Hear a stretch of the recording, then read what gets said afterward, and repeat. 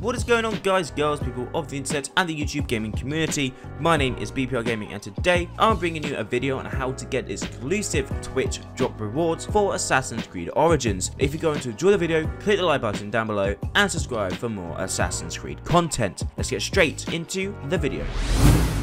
Now March 14th, during their community livestream, Ubisoft will be reactivating Twitch drops to distribute an exclusive in-game weapon. If you watch the community stream on twitch.tv forward slash Assassin's Creed for approximately 20 minutes, you will be rewarded with an in-game weapon for Assassin's Creed Origins. On top of that, you'll also have the chance to win an Assassin's Creed skinned Xbox One S. All you have to do to get that in-game reward is link your Twitch and Ubisoft accounts and then watch the community stream on March 14th. You can can link your account via Twitch. After watching the stream on the AC Twitch channel with your Ubisoft account linked for 20 minutes, you will receive the Hemet weapon. The reward will be added directly to your account. Now Twitch drops are an interactive way of earning Assassin's Creed Origins in-game rewards for watching the Assassin's Creed community stream. Now how do you register? The registration is easy. Head over to www.drops slash register.ubi.com and link your Twitch account to your Ubisoft account. You'll then be prompted prompt to opt into the drops feature and that's it.